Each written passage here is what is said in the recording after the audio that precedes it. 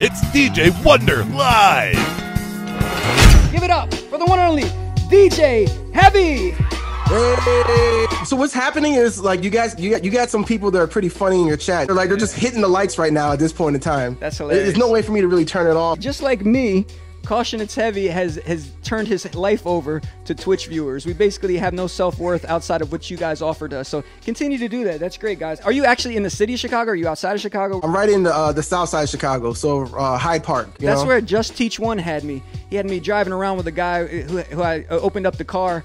And uh, there was a there was a handgun sitting in the passenger seat, and he, he's like, he, he, Welcome to Chicago, man. where, "What's your residences if we were uh, in in normal times?" Pretty much, I don't want to go over, but I, I DJ'd all over the place in Chicago, man. Don't go over it, man. F those clubs, man.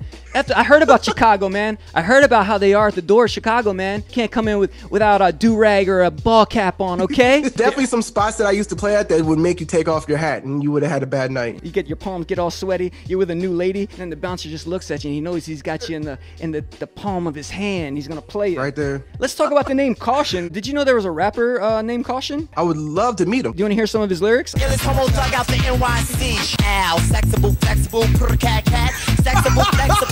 ow, ow. Caution, caution, cat, cat, cat. Meow, meow, meow, bitch. Who are you inspired by DJing wise? I actually like your show like a lot, man. This is all I'm asking for, folks. That's all I want. That's all I need to hear. I don't have any friends anymore. You're my friends.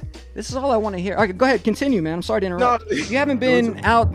You can't really holler at ladies. You're coming home to the wife and kids. You're gonna live vicariously through me now. All right, I'm gonna scroll down. I'm gonna stop on one, and then we're gonna go into the DM, and you're gonna tell me what to write, and I'll write whatever you tell me. Okay? What's her name?